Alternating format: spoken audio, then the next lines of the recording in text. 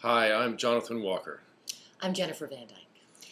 I came out of NYU in 1983, and I went right to work at an incredibly prestigious and wonderful theater, and I got my equity card on an off Broadway contract.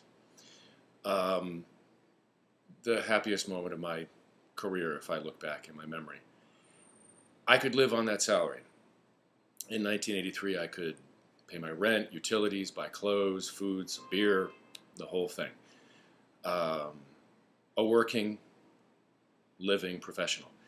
Cut to 2016 off Broadway, and I can't afford it. We can't afford it. Um, when you crunch the numbers, which I think we've all done in one way or another, and you look at it, you know that I'm making less now on an off Broadway contract, some of the off Broadway contracts that, that I made in 1983.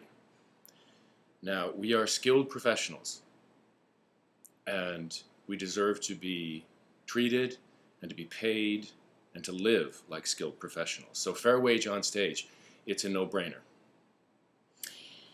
And I have been a proud member of Actors Equity for 30 years. And I have worked with some incredible people at incredible theaters. I've worked with artists, actors, directors, writers, stage managers, designers, crews, and I feel very honored and privileged to have been a part of a wide ranging career full of lots of wonderful productions. But I have to tell you, um, one of the things I'm proudest of is sustaining a career in this wonderful profession. And it is a profession, it is not a hobby. And the wages we are paid currently off Broadway treat us as if what we do is a hobby, not a profession.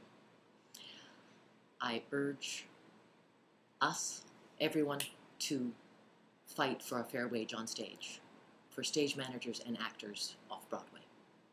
Thanks. Thanks.